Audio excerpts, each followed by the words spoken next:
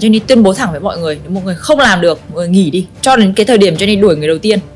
Chị đấy sinh năm 76 à, cái thất bại đáng nhớ nhất của Jenny đấy là khi mà mình được uh, promote lên uh, phó giám đốc ở trong ngân hàng.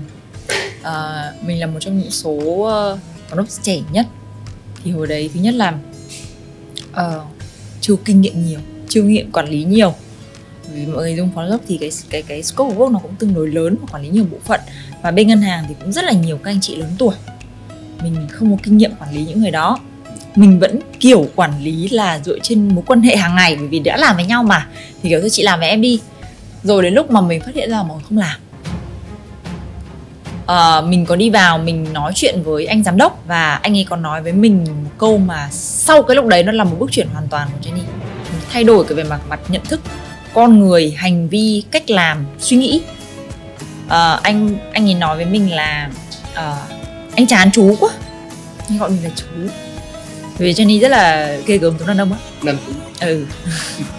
Người ta đã tránh từ đấy đi rồi mà. Ờ, anh chán chú quá.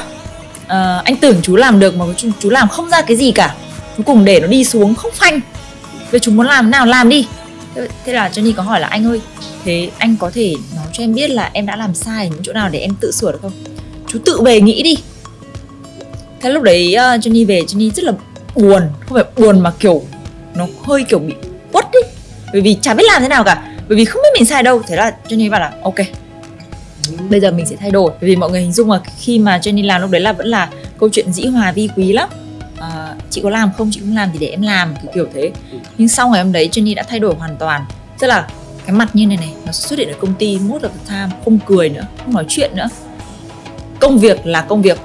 Và Jenny tuyên bố thẳng với mọi người nếu mọi người không làm được mọi người nghỉ đi. Cái công ty đấy nó không có, có văn hóa đấy đâu. Nó có văn hóa là nếu mà tôi không làm được thì tôi cứ không làm thôi. Đó. Và cho đến cái thời điểm Jenny đuổi người đầu tiên chị đấy sinh năm 76 bởi vì chị không chịu làm việc chị không làm việc luôn bảo chị đi uh, kiểm tra sao cho vay thì chị lấy lý do là ốm đau rồi xong chị ở nhà chị đi chơi. Đó thế là cho nên chị không nộp. Và từ đấy là cái câu chuyện là trong công việc mình phải hành xử như thế nào. Tất cả những gì mình ra quyết định mình phải chịu trách nhiệm trên quyết định đó. Cho nên đuổi một người là như phải gánh đi việc của người đó. Và cho nên cũng học được cái cách mà quản trị con người từ tất cả mọi lứa tuổi. Tức là mọi người vào trong công ty này chúng ta có mục đích là cùng nhau phát triển lên. Nếu như mọi người không phát triển, xin mời mọi người đi. Vì tôi có nhu cầu phát triển lên. Tôi không thể để một cái người như thế ở dưới tôi được. Và một cái bài học nữa là khi mà nhân viên ở dưới mình mà yếu kém, người chết đầu tiên là mình, không phải nhân viên. Đó. Rất nhiều bài học được dẫn ra trong cái thời điểm đấy và rất nhiều cách thay đổi ở thời điểm đấy. Cái cách mà nhân, mọi người đối xử với nhau trong trong công ty ấy, nó sẽ không giống với cách mà mọi người đối xử với nhau khi trong còn ngồi trên ghế nhà trường.